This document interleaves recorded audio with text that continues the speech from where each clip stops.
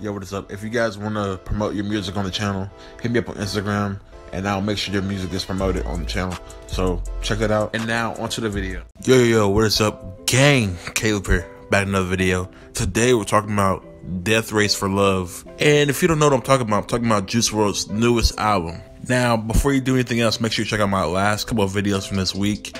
I had a total of five videos I did. You know, it's a rare week for me. I've been trying to grind out all week, and I hope to do it again next week. So let's get it. So I'm not even gonna lie to you guys. I don't really know too much about this album because you know, Juice WRLD. We know he works with a lot of artists, but we don't know what's gonna be on the album, or what's not gonna be on the album. But we're really gonna just talk about what we know and what we expect from this album. Now, currently, the album is sitting at 22 songs which is crazy, bro. Like most people that can listen to the album are probably gonna be picky about where they listen to songs, you know, because albums is linked. Most people don't sit around and listen to the whole thing like I would.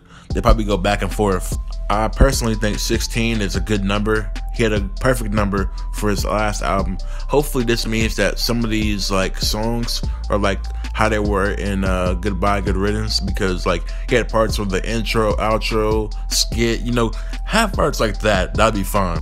Now, I really hope this isn't like Drake's album he had last year where he had songs that you didn't even care about. Like you pick and choose what songs you actually liked and he came back to it. Now, let's talk about the cover of the album. So, the cover of the album is Juice WRLD on there and he's trying to play nostalgia with our feelings and bring back the PS1 memories because he's a 90s baby like I am. Like, even though I was really like a 90s baby that played more PS2 than PS1, I still have memories of PS1. It's just that good. Also, this is supposed to be a reference to Twisted Metal, which was a game that had weapons strapped on top of vehicles, which was pretty cool. Now, there was one person that had a problem with him actually releasing this cover. You know, he goes by the name of Pi'erre Bourne. But I'm just kidding, you guys know who that is. But let's read what he recently had on his Instagram. Y'all gonna take my album cover too? Say less. Now let's take what Pi'erre had as a cover for an album, you know. Let's compare it to Juice WRLD's cover.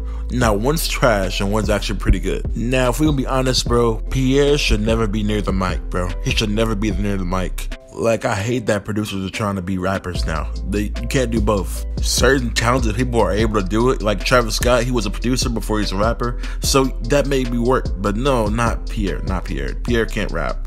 Ronnie J cannot rap. So half of these producers can't rap. So I don't know why they're trying to act like they can. Anyways, I just want to say that like Juice is not really depressed anymore. You know, going into Goodbye Good Riddance, I think he was single, right?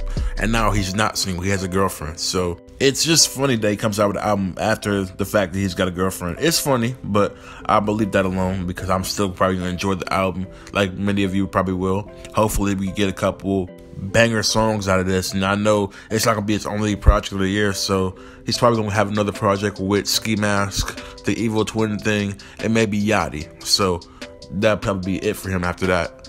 But that'll be it for now, guys. Hope you enjoyed the video. Hit the like button if you enjoyed the video. Hit the subscribe button if you're new to the channel. And I'll see the rest of you guys later.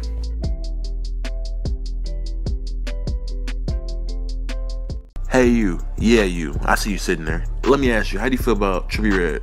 Okay, okay, okay. How do you feel about Travis Scott? Okay, okay. How do you feel about Playboi Carti? You know what? How do you feel about Lil Uzi? Like these are one of the best in the game. Okay, so if you like all these, this is probably the channel for you. As well as some of your favorite artists. So what are you waiting for? Hit that subscribe button. I'll wait.